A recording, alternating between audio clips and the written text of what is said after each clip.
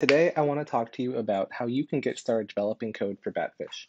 I'm going to do this by talking through how we'd fix an example bug like this one, where a user has reported a parse warning in an FRR file in their Sonic devices. Now, if you found your way here, I'm assuming you've already kind of gotten started developing Batfish. There are instructions on the wiki for getting your IDE set up, and I assume you know what Batfish does, but just in case, um, you know, you want to check out batfish.org. You can find out about what it does. You can find out, you know, how to get started with Python docs or our Slack channel or GitHub pointers. Um, we have a good video series showing you, uh, you know, how to get started using Batfish on your network. And if you don't believe us, you can go read about other articles, tools people have written, how they've actually deployed Batfish in their networks. But to jump right in, let's go see about this particular bug. so the scenario here is that the user has said, hey, I'm using Sonic and I have this command in my uh, in my BGP config, BGP max med on startup 15, which Batfish is throwing a warning on. It says it doesn't understand this command. This is very typical for us, right? All the time users have configs that they do not want to get warnings on. They want to instead understand what they mean, make sure that Batfish models it or safely ignores it. Uh, so the first thing I did as the developer responding to this bug is figure out what this command does. Now, this command is a really common command on any of the devices that model their BGP syntax on Cisco IOS. In this case, what it does is it says, hey, when the BGP process is booting for the first 15 seconds, advertise all the routes as being really poor. Uh, there are, I went and looked at the command reference for FRR.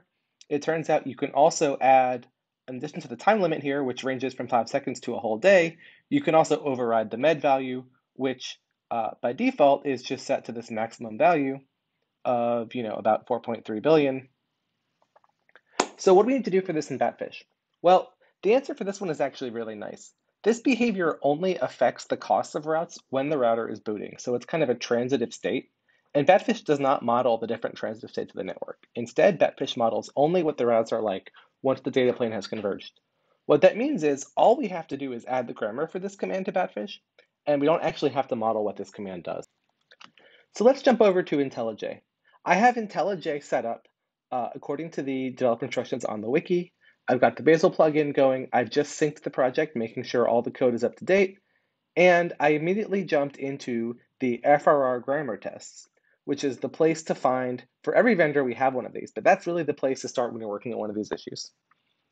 Now, I'm sure you've already made yourself familiar with the project, but just in case, um, in Batfish, we have these, you know, test Java files in every project. And in particular, in this case, we're looking at org Batfish grammar, where we have the different vendor-specific syntaxes, Arista, AWS, Cisco, and here the tests for FRR are down here at the bottom.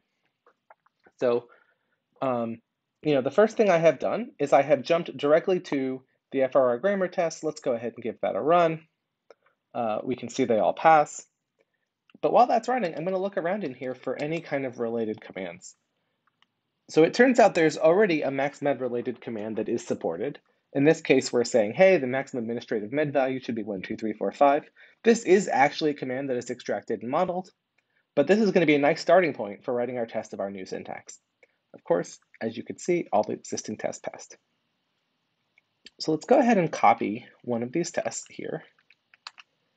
And instead of administrative med, let's do maxmed on startup. And as I mentioned, there's two variants. So first, let's start with the time only variant. So on dash startup 15, this is the thing the user uh, reported a bug on. And you don't really need to do this, but let's also go ahead and make sure that when we do go implement this, it doesn't actually affect the maxmed administrative command. Because maybe a developer who didn't quite uh, know what they were doing, you know, they might actually uh, accidentally change both fields. Now, Bazel does incremental compilation, so I have actually gotten it to just recompile this one file and rerun the test. And because I clicked this button here, it actually only ran the specific test we're looking at.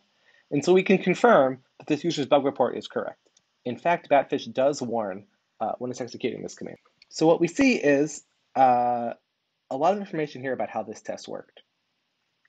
So for example, we can see what the stack trace was. We can see that the batfish uh, parse function was running and it found its way through the grammar, the statement rule is top level rule, then it found its way into router BGP, BGP inner, RBBGP, and RBP max med administrative. Um, that is matched up here where we see, hey, this is the sequence of commands I was on. It tells us where in the input the rule was on the second line. So that's right here. Um, and the big complaint, it seems to be, is that, hey, I don't understand what this on S stuff is, right? I don't know how to recognize that. So we know we probably should go find out this RBB maxmed administrative.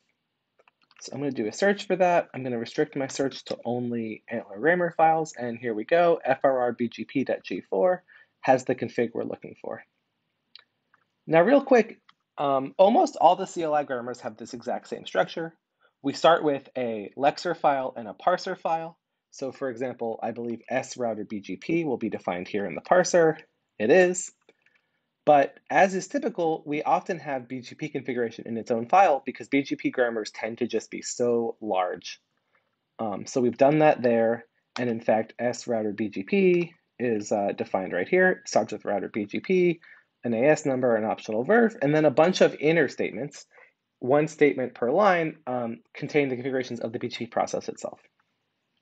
So BGP inner could be lots of things. It could be address family, always compare med, BGP, neighbor, things like that.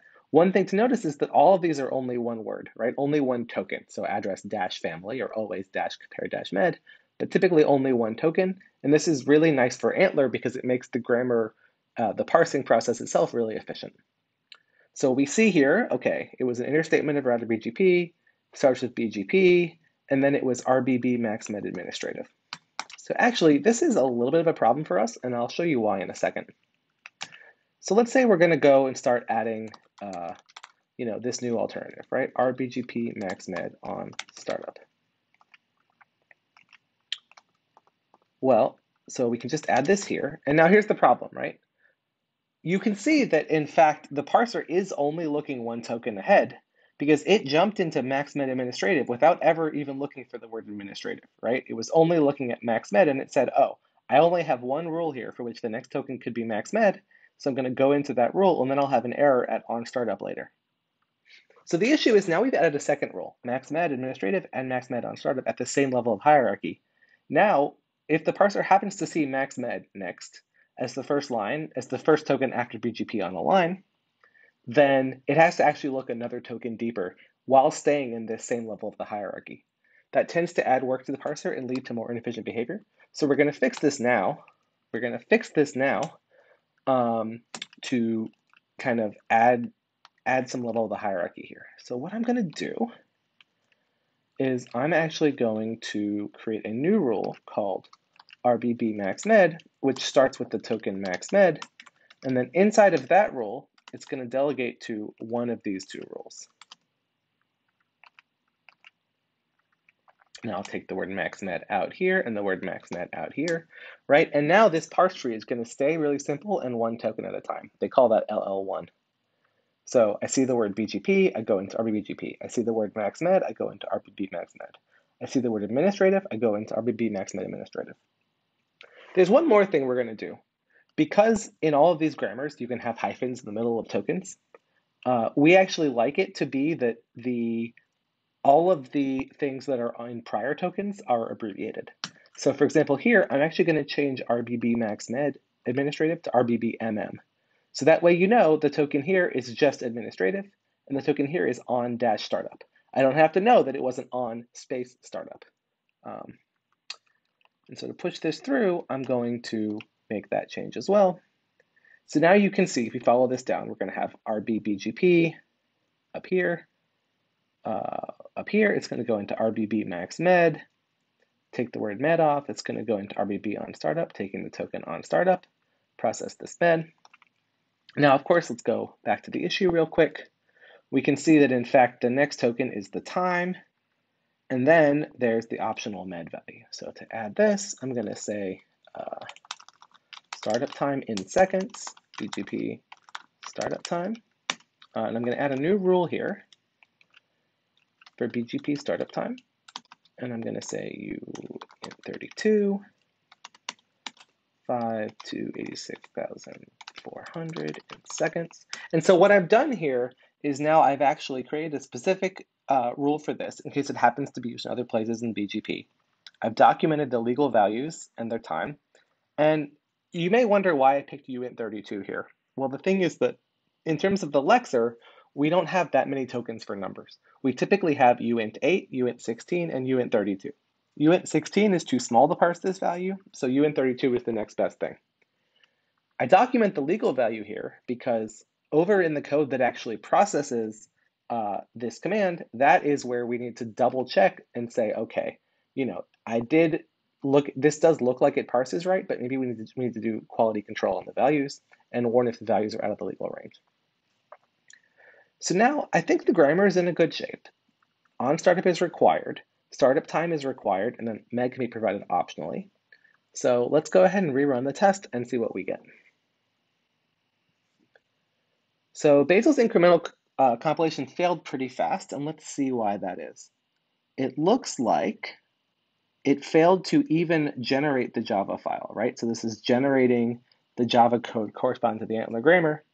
And the reason is that it says, hey, the parser is relying on a token called onStartup, but that token is not defined. It has an implicit definition.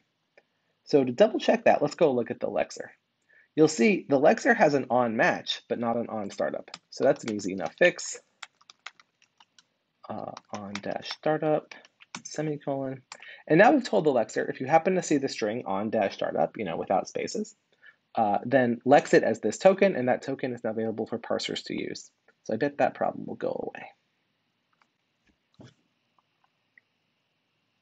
So this time it did succeed generating that file. It's compiling the headers for the Java grammar and now something else has failed.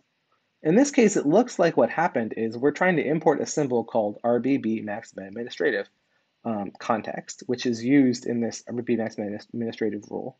And of course, I think we know why that is. It's because I actually renamed this thing to make the grammar LL1.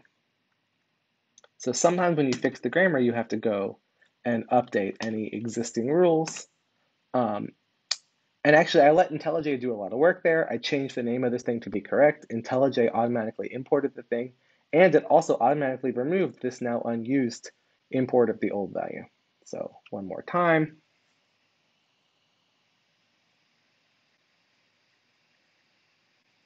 You can see it's getting farther again. It actually compiled the Cumulus grammar as well. It compi compiled fish because Cumulus relies on FRR, as does Sonic. Um, it's compiling that fish, and now it's actually started running the tests. And this time it passed, right? So this command actually now parses legally. So for completeness sake, let's keep going, time and med, and let's pick, oh, I don't know, 4 billion as the value we're going to use. Again, I want to check that it parses, but that it does it leaves administrative alone. Um, and of course, I think by hitting play there, I probably only reran this one test. So let's run this one.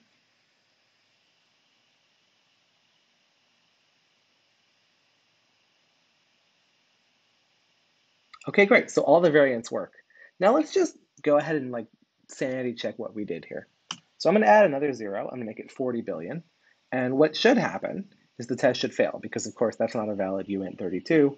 And indeed it did. We can see now it says, hey, uh, what I found was a number, which is 40 billion. I was expecting either the end of the line or an 8-bit, 16-bit, or 32-bit thing.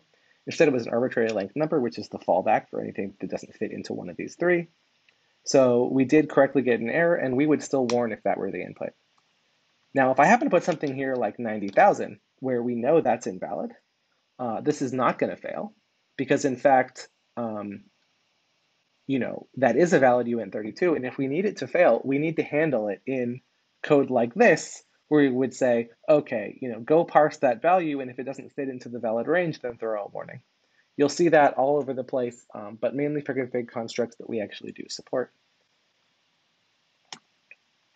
So let's put this back.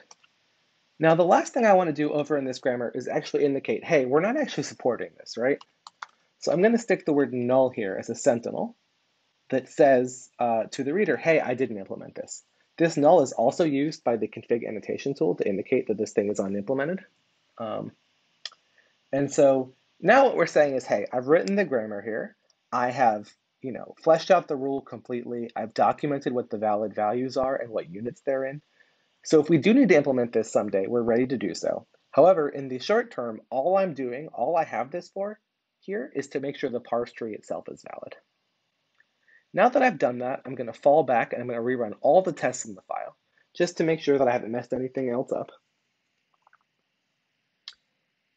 And in a second, this compilation process will finish, the tests will run, and they will pass, and then we'll be happy we can move on to actually submitting this thing as a PR.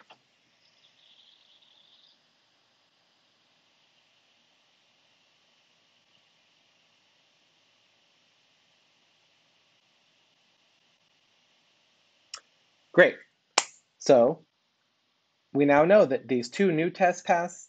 We've, we've used the entire syntax and we haven't broken anything else in there. So now over here, I have my, uh, my terminal here. I've created a branch. 8471 is the name of the issue. I'm going to look at the git diff really quick to make sure I review what I did. So we added a new token that was needed for this new syntax. We refactored the rule so that it is still LL1, only one token at a time for the parser. We moved maxmed out into its own rule and took it away from administrative. We added another variant for on startup. We documented what the grammar is in case we need to implement it later. We fixed up the extraction code to handle the renaming we did. And we added tests for all the legal variants of syntax that we care about. So this is great. We can now go ahead and prepare this. I'm going to follow the standard structure and say um, which process I'm modeling, modifying, FRR, and what I did, uh, parse and ignore BGP maxmed on startup. Startup fix batfish.